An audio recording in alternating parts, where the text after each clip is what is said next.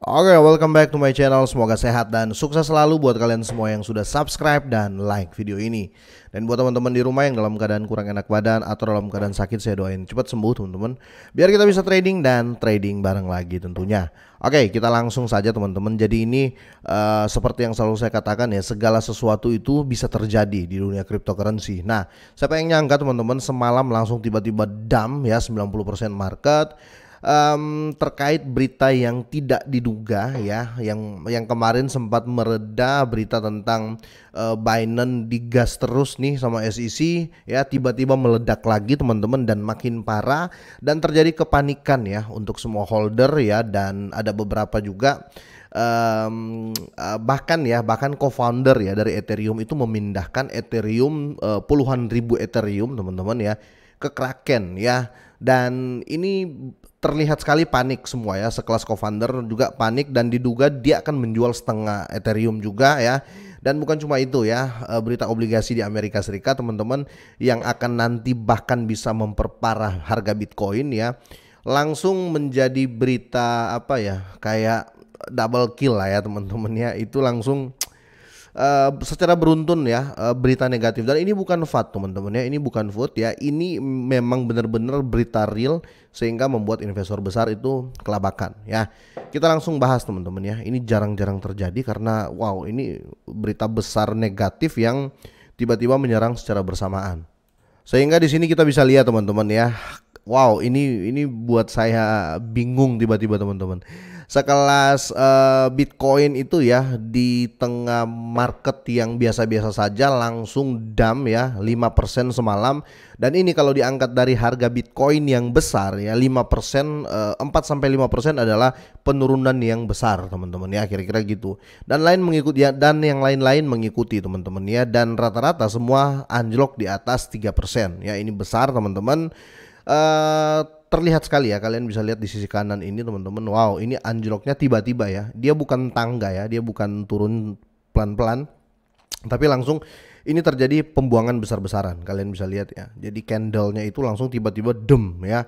Jadi ya ini jelas sekali about news teman-teman. Itu kenapa saya selalu saya ingatkan segala sesuatu itu bisa terjadi di dunia kripto ya nggak ada sirene ya nggak ada alarm dari awal nggak ada bau-bau dari awal tiba-tiba langsung saja ya merah.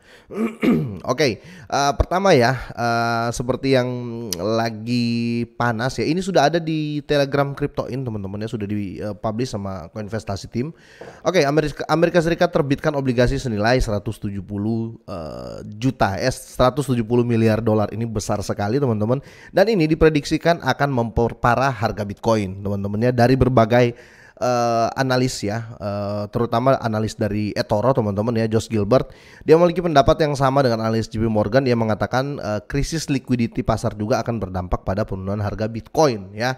Jadi jelas sekali ya di sini langsung panik dan ini berita nyata teman-teman ya. Ini bukan uh, apa namanya tindakan yang biasa, uh, bukan tindakan yang belum terjadi. Ini sudah ditegaskan sama apa namanya sama Joe Biden ya uh, dia sudah menandatangani lah kira-kira seperti itu ya untuk uh, obligasi ini ya. Saya baru saja menandat, menandatangani undang-undang perjanjian anggaran uh, partisan yang mencegah default pertama sambil mengurangi defisit, menjaga jaminan sosial, Medicare dan Medicaid ya. Uh, dan memenuhi kewajiban kami menakutkan yang menakutkan ya kepada para veteran kami, kira-kira gitu. Dan secara tiba-tiba ya co-founder Ethereum mengirim 22 ribu Ethereum ke Kraken dalam gerakan besar-besaran. Ya ini terjadi uh, 2021 ya awal uh, apa terakhir terjadi seperti ini yang dilakukan oleh co-founder Ethereum ini terakhir tuh 2021 kalau saya nggak salah.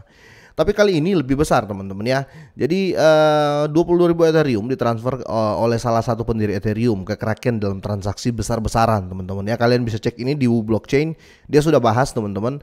Uh, dia menambahkan bahwa terakhir kali alamat dari Jeffrey ini teman-teman mentransfer Ethereum adalah 29 bulan yang lalu atau sekitar uh, bulan Januari ya, 6 Januari 2021 teman-teman ya. Di sini uh, Look on Chain juga melihat pergerakan Ethereum besar-besaran ini ya tercatat bahwa Jeffrey Wilke ini ya salah satu pendiri Ethereum mendepositkan 22.000 Ethereum senilai 41 juta dolar uh, ke beberapa jam yang lalu, eh, ke Kraken ya dalam beberapa jam yang lalu. Di sini Luke on Chain men mengamati bahwa pergerakan tersebut bertepatan dengan penurunan marginal 0,4% pada harga Ethereum. Dan di sini uh, dari analitik on chain ya berpikir bahwa uh, mengingat data kedalamannya minus dua persen yang diamatinya di Kraken salah satu pendiri Ethereum mungkin tidak menjual semuanya ya jadi mungkin dia akan jual setengah tapi uh, anggaplah let's say dia nggak menjual ya berita ini atau tindakannya memindahkan aset ke Kraken bisa jadi uh, langsung membuat orang panik. Pasti orang akan berpikir pasti dijual, ngapain dipindah ya kan? Biasanya seperti itu teman-teman ya. Ingat ini politik cryptocurrency.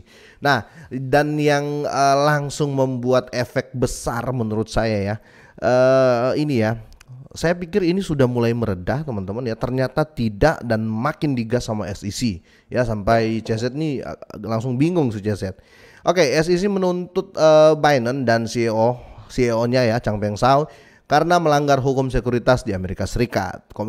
Komisi Sekuritas dan Bursa Amerika Serikat atau SEC uh, menggugat Binance dan CEO-nya atas pelanggaran hukum sekuritas lain itu di gugatan tersebut mengikuti tindakan hukum sebelumnya yang diambil terhadap perusahaan oleh Komisi Perdagangan Berjangka Komoditi. Nah, Bloomberg awalnya melaporkan gugatan tersebut ya. Ini yang pertama dilaporkan tuh masih biasa-biasa saja teman-teman. Tapi kok kemarin makin parah ya Nah, dengan regulator menuduh pertukaran tersebut salah salah menangani dana pelanggan. Selain itu, regulator menuduh bursa berbohong kepada regulator dan investor terkait operasinya, teman-teman. Wow kok sekarang tiba-tiba mau manas lagi? Itu yang saya pikir teman-teman ya. Dan dan langsung banyak berita gitu loh. Ini bukan fat teman-teman ya atau bukan food bukan fat atau bukan food ini benar-benar terjadi. Nah secara khusus SEC ini mengklaim Biden menyalahgunakan miliaran dolar dalam dana pelanggan ya. Selain itu dana tersebut diduga uh, dikirim ke perusahaan terpisah milik Zhao ya. Selain itu tuduhan tersebut juga termasuk kebohongan yang disampaikan oleh perusahaan kepada investor terkait bisnisnya ya. Ini kita garis bawahi teman-teman ya. Ini yang bisa bikin dan sudah membuat banyak orang panik ya karena tuduhan SEC itu berbunyi seperti ini.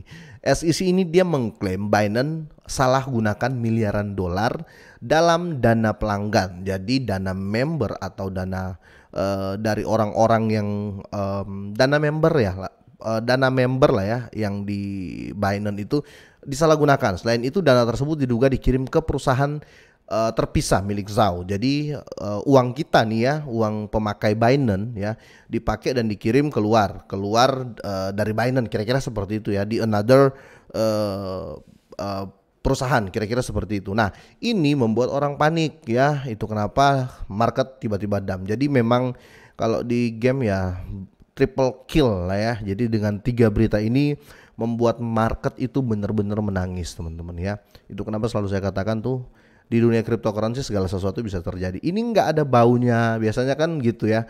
Ada berita kecilnya dulu, tiba-tiba uh, datang berita besarnya. Tapi ini nggak, ini secara tiba-tiba teman-teman ya. Uh, apakah ini politik atau seperti apa? Kita lihat ya, karena kalian lihat ya, terlihat sekali ini adalah panic attack. Kalian bisa lihat di sini ya, untuk di candlenya ini teman-teman, semua itu lurus ya, langsung dem, bukan bukan turun tangga, enggak, ini loncat jurang ya. Kira-kira seperti ini. Menurut kalian seperti apa teman-teman? Silahkan drop komen. Semoga sehat dan sukses terus buat kalian semuanya.